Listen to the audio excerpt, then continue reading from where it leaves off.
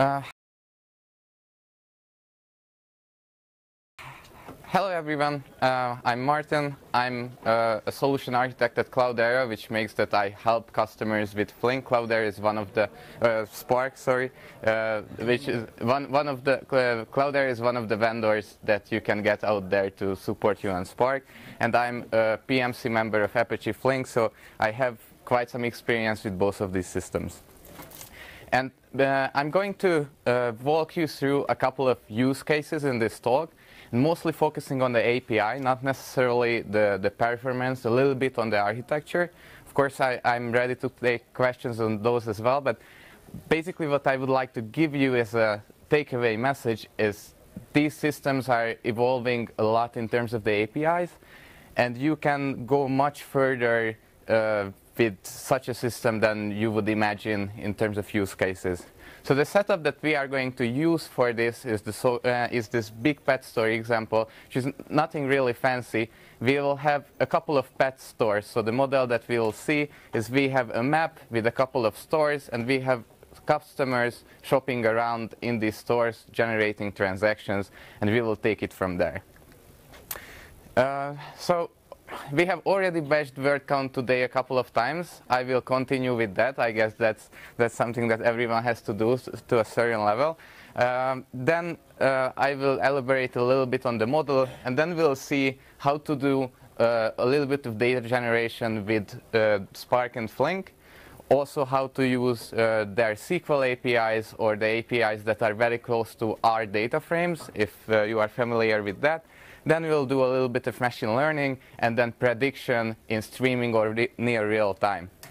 So it's going to be a little too much code because I also had to cut a little bit of the slides from the theoretical part, of course. Mm -hmm. So what I suggest uh, to try to do together is I would like to tell you the story and the code is going to be there. And having the story and not necessarily understanding the code 100%, that, that's completely what we are shooting for today. So, infamous word count example. Who have already seen a word count in their life? Okay, good enough. But that, that's why I put it up there because it's, it's just half of the people in the room. So basically, word count is the hello word of big data. And that's exactly what it is. It gives you the first impression it has certain merits and we should give those to it. Basically, it as unfortunately it may be a little low if you are sitting in the background, but it gives you the idea that the MapReduce paradigm does the following for you. Even though you will you have a huge chunk of data, and even though you will never have a global view of it on any single machine because it doesn't fit into one single machine, you can still produce a global, a global count, count for a given key in it. So it, it has this power, and word count exactly demonstrates that. But it doesn't give you much more. People sometimes use this also for, and that's what I'm trying to get into, benchmarking a big data application. Okay, I have installed Spark. Now let's learn a word count and see whether it works okay or not. Well, it will benchmark a little bit on, on the shuffling phase, so at least you have, will have this network communication. Maybe the disk IO in the beginning and in, in the end, but that's basically it. What happens if you want to do data streaming or machine learning or graph processing? Is it going to be enough for you? Well, most likely not. And that's uh, where we start bashing word count, of course. So then the other cool stuff that basically every uh, one who is talking today has to do is give a shout out to BigTop because BigTop is cool. So I have to do that as well. The, this uh, project in, in, general is part of uh, Apache BigTop. You can have a look at the, the code there and uh, references to the Big Pet Store model. Basically, Big, uh, BigTop not only uh, gives you this ability to to install your big data systems with, with the uh, Puppet scripts and the Juju charms and all these cool stuff. But also, when it's already installed, you might be able to benchmark it. I would definitely say that this is not the most mature part of BigTop, but it's a new initiative where contributions are very welcome. Well, in terms of the model that we are using, uh, I already mentioned that this is this big pet store model. There's a scientific paper out on it. Basically, the idea that you need to have here is that it can generate data in a big data setting that even if, if it's small scale or big scale, it's sort of still relevant on, on testing your big data applications. So for that reason, it, it might be nice for you. It's, it's based on the distributions why it might be relevant. Okay, so the two systems that we are going to deal with today, and mostly their APIs, is, is Spark and Flink, two data processing systems. And I would like to just highlight one uh, fundamental difference between the two in terms of the architecture, and the other parts are just matching each other. When you look at the Spark runtime, the basic runtime of Apache Spark is the so-called RDD, Resilient Distributed Dataset API. That's the batch API. So it suggests that you already have your data sitting on your local file system or HDFS or S3, wherever, and it's there and it's a finite data set. So that's what Spark runs on natively, and then they build streaming on top of it. The main difference in Flink is that in Flink, data, the data stream API, the streaming one, and the data set API, the batch one, those are on the same level. So if you want to have this finite data set, or if you want to have something that is near real time, maybe giving answers under a second, that's, that's sort of both a native implementation. The streaming doesn't get translated on top of a batch job. And that has different implications. Because of this, uh, it's much easier in Spark to integrate within a streaming and a batch job, because a streaming job is just a sequence of batch jobs. But it might be limiting in a couple of cases, so it, it includes a trade-off. And we can define the mapping that we are going to go through today. So we have the batch APIs matched up. We'll have a look at the streaming ones, the machine learning ones, and also the, the SQL uh, slash uh, table ones. I, uh, this talk is a little too short to also include the graph ones, but maybe next time for Vasia I have to do that as well. So uh, then let's, let's go to the coding part. Uh, Ronald, one of the authors of uh, that paper, he also coded uh, the whole generation process in Java classes. Of course, both of these systems do uh, have Java and Scala APIs. I'm going to stick with the Scala one because it's just easier to read on a slide. Uh, who considers themselves a Scala developer? Okay, a couple. Ja Java developer? Good enough. Maybe Python, that also helps. Good, okay, I'm safe. Thank you very much. so, um, just a little bit of, basically we have a way to generate these classes on a single thread that Ronald has already provided for us. But I would like to use these distributed systems. I would like to generate a whole bunch of this data in a distributed fashion. That's basically my point. And of course, it's pretty easy to, to do that. The way the we are doing it here is for this data generation to work, we need to generate the so-called ground truth, which is uh, our customer IDs and the name of the customer's basic customer information, also basic information on the stores, and on our product categories. So in this case, product categories is like a doggy leash or cat food or whatever you would buy in a pet store. And then in Spark, you have uh, basically two main ways of passing uh, data to your distributed operators. Remember, these uh, will get distributed in clusters. Maybe you will have 10 instances uh, running and generating your data. One is, uh, of course, to parallelize uh, some collection that you already have or read from a file. So that's the standard data set that is going to flow through your pipeline. But that's also an alternative. If you have just a smaller data set that you would like to propagate to all of your nodes. And for example, the stores is going to be such a data set in our example. Uh, you can use Spark's broadcast variable to, to achieve such, such a thing. Then of, uh, the, uh, Spark has this so-called functional API. We already seen a lot of functional APIs today in the uh, dev room. And one of the main features there is you can, uh, you can use these functions, for example, a map function or a reduce function or a flat map function. Uh, and pass your user-defined functionality within that. You see one example here. I just adjusted uh, the time when we started generating the process. That's, that's basically uh, the whole structure of how you would code the data generation in Spark. Let, let's switch to Flink. Uh, I also generate the ground truth. One changes in Spark we called the basis of building this graph Spark context, now we call it execution environment. Of course, relying on Ronald is the same. And now uh, it's slightly different the way how we deduce extra information on our functions. Uh, in Flink, we use the rich, rich, function interface. In Spark, we use uh, another solution for that. It's slightly different how we use uh, broadcast variables, but as you see, the basics having a mapping is, is on the same level. It, it's mapped out the same. And that uh, this is just a summary of what I've already said. So we have already written our JSON output file. So it, this would be written in JSON just to, to sake of having able to look at it. And let's do a, a little bit of ETL on top of the data that we already have. So of course, this is usually where you would start with such a process because some, someone has already provided it for you. So how can we uh, we will, uh, let's have two goals for this.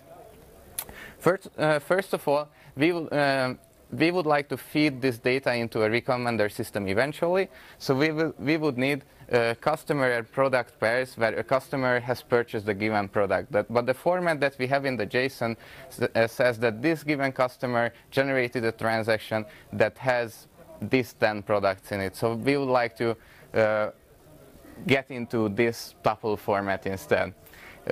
First thing first, we don't really have an ID with our products first uh, yet. We only have that for the product categories. So we could select the distinct of those and zip them with a unique ID. These are all Spark functions already included. Uh, you can uh, access it from the, the standard uh, core Spark. And then you joined uh, this information together with the customers who already have an ID, and then you have two IDs here.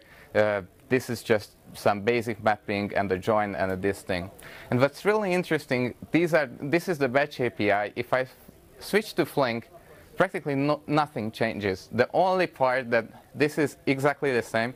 The only part that changes here is the way uh, Spark and Flink like to speak about their, their join. Uh, and basically the signature is uh, of the join, but basically it's the same. And the way they handle keys. So you could almost recompile it with, with uh, Flink instead of Spark and the other way around. That's, so this keys is, uh, is the notion of the pair RDD. Okay, so one next step, uh, we have already heard this to, uh, today from um, many uh, speakers, that it's not necessarily enough to provide the Java and the Scala API because uh, other people who have worked with previous systems, they may, are maybe used to SQL or R or Python. So why not provide an interface for them as well? And both systems give you SQL interfaces.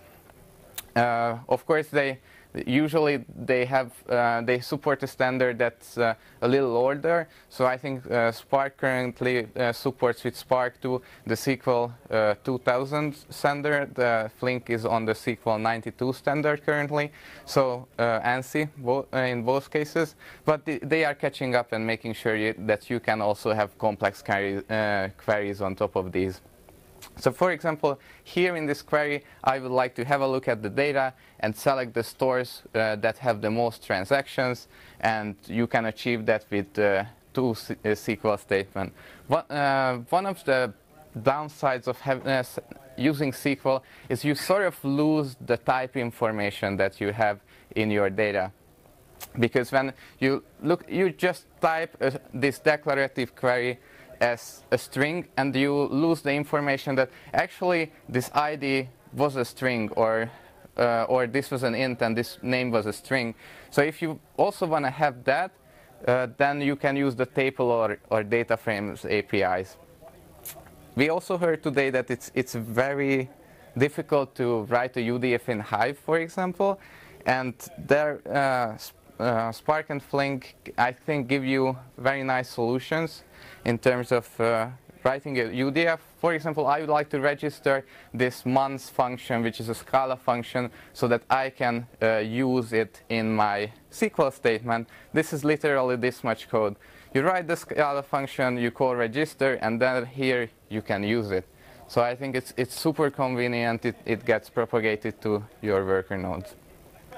Then I already report to the table API. So I, the SQL I showed you in Spark. Now I'm going to show the table or data frames API in Flink. Both have actually both. We just don't have enough time to visit everything. So this is very pretty close to SQL. It's still Scala. It feels like SQL. So the statements that you write is table.group by and select and join and where. But you are still in Scala and you still have the type information. And, it's, and if you want to go back to standard Flink or standard Spark, it's, it's way easier. And here I accomplish the same. Let's select the most important uh, stores. Okay. Uh, another uh, topic is finally we realized then these customer and, and product pairs. We would like to feed it to a machine learning system. And if you are uh, familiar with scikit-learn, then the APIs should uh, look pretty similar for you. Basically, they have this uh, est uh, estimator predictor uh, API that's that's very familiar from scikit-learn. You, so you have a model, you call fit on it, and then you can predict with a, a, testing data set. So that's that's what we would, uh, we would be able to call here. The recommender implementation that uh, we are using here is called ALS. Uh, but there are also other solutions to, to solve this problem. Instead of predicting it right here, I'm just saving the model, and we will use it later in, in a streaming topology. So right now, with this much code, and this is actually how much code you have to write in, in MLlib, it will, will be very similar in FlinkML, you can train a machine learning model and save it, and then we can reuse it later. In Flink, it would be uh this much code. This is really uh, how much you would have to write there. Okay. In terms of comparing the ML APIs, uh, the Spark one is definitely more mature, but API level, they are almost as close as the batch APIs are. So I, I think in, given, given that the Flink one catches up with algorithms, it, it will be really easy to, to switch between those.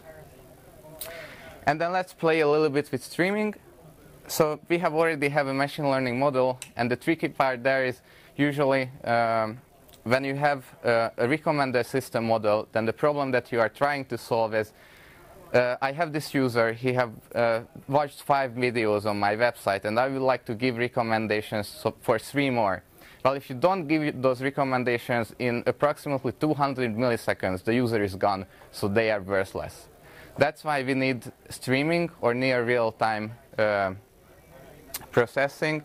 And as I mentioned in Spark, it's really easy to accomplish such a thing because we just load the model that we have already prepared in batch. And then we, will, uh, we have a query which is coming from a socket. I'm just typing in user IDs. And when I would like to, to do the prediction, I go back to my batch pipeline and use the prediction there. This is something that is currently not available in Flink, and it's super convenient to, to code in Spark. Of course, you have other trade-offs in, in Spark. And just to give you a, a sense of how to switch to a Java API, this is actually coded in Java. Of course, you don't see much difference. The only difference is the semicolon here because it almost already looks like Scala. But in Flink, I decided, and um, the code is available on GitHub, I decided to code the whole prediction instead of relying on the uh, uh, implementation in FlinkML. I coded it in, in streaming which is, uh, because it's very straightforward. It's just multiplying a matrix with a vector and then selecting the top k. Yeah, uh, in terms of differences, I think the, this is the part where uh, Spark and Flink are the most different because of the choice of architecture. Uh, Flink does definitely better when it comes to stateful processing and timeliness, but Spark is improving in that department with, uh, with the new structured streaming API. So, as a summary, uh, you should definitely go beyond uh, word count with, with Big Pet Store. The batch concepts of Spark and Flink are very close, but they have the differences in streaming. You have seen a lot of use cases with under 500, uh, 500 lines of code, and it's available on GitHub, and you are very welcome to check it out. And of course, an Apache pet project is always fun. Uh, big thanks to the guys who have helped me to accomplish the project itself. And thank you very much for listening.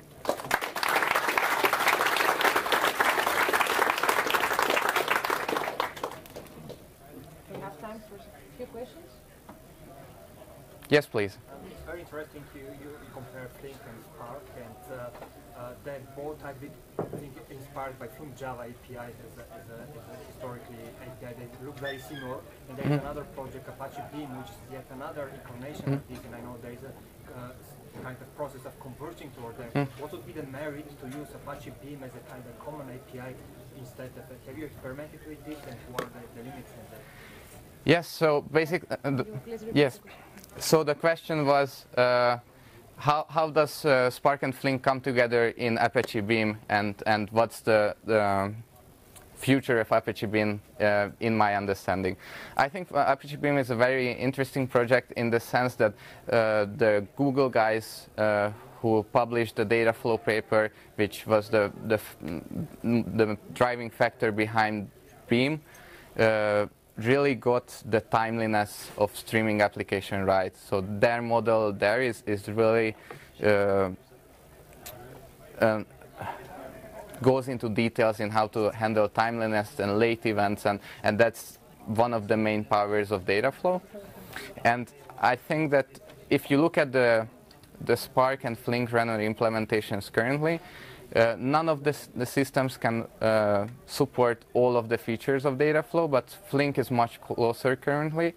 Um, and the basic reason why Spark is currently not supporting all of these streaming uh, features because in Spark, because of this architectural choice, fault tolerance was very easy to accomplish because it was done. Batch fault tolerance gives it, it's done already, but when you have these mini batches, so uh, then it's really you don't really have a way to communicate between two mini batch. That's that's the main issue.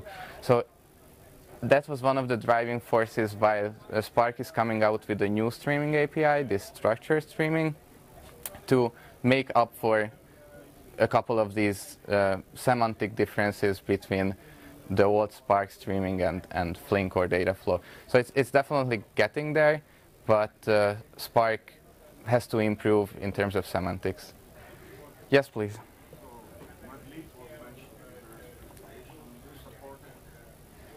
Uh, I, th- I think uh, Madlib is uh, is a little bit in a, a different domain, but I, I would like to learn more about Madlib as well.